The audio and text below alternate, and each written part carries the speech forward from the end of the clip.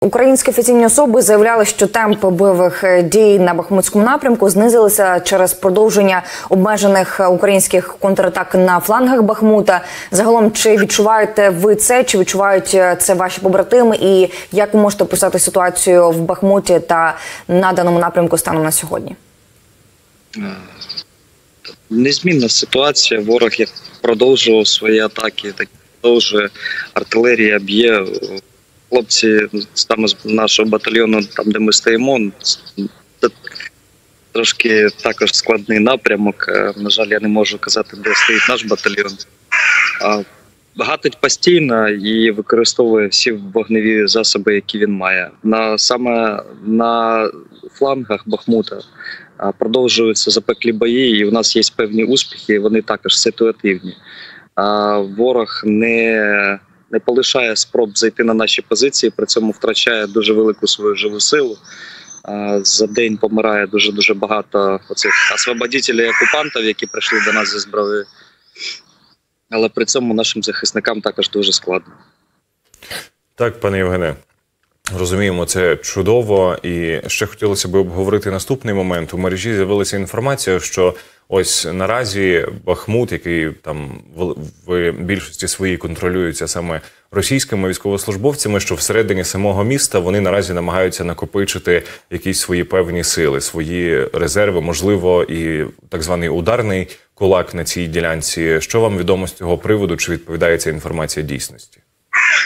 Всі спроби ворога закріпитися, ну там е, зробити якісь певні накопичення вогневі, вони дуже дуже швидко використовуються нашими захисниками сил оборони для знищення цієї великої кількості живої сили або е, кількості вогневих засобів, які накопичуються, тобто будь-то БК, будь-то техніка і тому подібне. Тобто дуже добре, що в нас є певні літальні апарати. Безпілотні, які завдяки яким ми можемо бачити і спостерігати рух та переміщення військовослужбовців з Російської Федерації. Тобто це дійсно допомагає і ну є в них певні накопичення, то що вони пробують робити. При цьому, як тільки вони доходять до певних е, меж, там де достають наші е, вогневі засоби, а наші вогневі засоби, ну дякуючи нашим партнерам працюють на великій дистанції, то ми можемо знищувати це накопичення ворожих сил. Пане Євгене, ну дійсно кажуть, що це практично війна дронів і без безпілотних літальних авіаційних комплексів абсолютно ніяк, тому що це очі наших артилерістів і очі наших бійців. Пане Євгене, досить цікаво е, почути від вас, чи була трофейна техніка, яку можна було б, наприклад, використовувати надалі, або просто знищена техніка, або ж стрілецька зброї та БК російських окупантів, е, які ви змогли захопити на позиціях і в подальшому використовувати. Чи часто такі випадки трапляються і у вас, і в тих е, побратимів посестрах, е, які з якими ви спілкуєтесь? Печенеги у них е, круті. На жаль, у нас е, з кулеметами є певні проблеми. Тому так е, були трофейні кулемети, які дійсно не клинять, дійсно можуть витримати велику кількість пострілів і ну, вони не так гріються. Це такі ще радянські, радянські старі кулемети. А Цікавого, та напевно, це була це Максим був також кулемет. Багато техніки, багато. Ну у нас є певні відео там зруйновані танки старого зразка, який е, ми не брали, але він знищений. Просто був був знищений дронами. Тобто дрони скидували на, на нього певні подарунки, і танк втомився. Пане Вена, от е, щодо танків, е, чи не бояться окупанти? Підходити, підвозити їх ближче до позиції, до позиції наших українських бійців, чи все ж таки вони ховаються поміж залишків будинків, якщо говорити за якісь лісосмуги або поля, чи вони ховають їх десь поміж зеленкою? І чи ви спостерігали якісь такі випадки, як це було на початку на Київщині і на Авдіївському, точніше не на Авдіївському, на Володарському напрямку, коли окупанти намагалися йти колонами на Бахмут і на його околицях? Зараз вони бояться з будь-якого там великого скупчення, дійсно недалеко біля наших позицій, тому що розуміють, що в нас є прекрасні вогневі засоби. західного зразка, які нам дуже сильно допомагають. Тобто, будь-то Хаймарс або інші комплекси, які працюють е, точечно.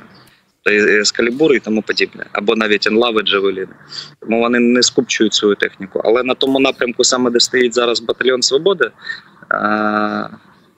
у нас дуже велика проблема з танками. Так вони старі, так вони стріляють, так вони в танковому бою програють. При цьому це танк. І коли він хренячить по піхоті, це несприємно. У нас дуже дуже великі проблеми були з декількома танками, які просто розібрали будівлю з нашими хлопцями, і це знаєте несприємно. Тому якось скупчення ворожої техніки немає. Ну, Тобто вони розуміють, що якщо вони там накопичують 2-3 танки або 4 вистраюються в якусь коробочку в колону, ну їх одразу буде знищено. Ну при цьому ви, виїхати, вистріляти БК і смататися, це вони можуть так. І на жаль, проти піхоти або проти, наприклад, там розібрати якусь будівлю, де знаходиться наш там. Де наші знаходяться піхотинці, або, наприклад, зона зосередження БК, вони можуть. І знаєте, недооцінювати їх танки це дуже дуже дуже погано для нас. Тому що повторюю ще раз: один на один в танковому бою з тими ж західними танками, типу Леопарда в Абрамса, вони програють. Але коли їх там 3-4 вони стріляють по піхоті, це для нас дуже важко. Це так, пане Євгене, скажіть, що, будь ласка, наскільки близькими нині є контакти, бойові контакти, стрілецькі контакти, якщо можна так сказати? напрямках по-різному. Наприклад, там, де ще Курдюмівка, Зарянівка, Андріївка, це важкий напрямок. Там стоять е, наші побратими. Я з ними спілкувався. От позавчора кажуть, контактні бої там 50, 100, 150 метрів. Тобто постійні штурми. Постійно пробують знову таки наші захисники про- продавити, прощупати позиції ворога. Також е, складна ситуація на північ від Бахмута а це вже ближче до Вугледара, е, до Солідара. Е, Там також ідуть складні бої.